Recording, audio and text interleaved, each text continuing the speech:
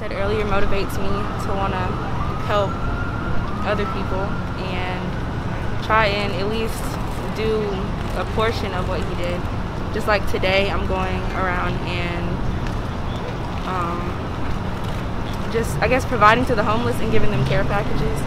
And so, just basically to help our community out as a whole.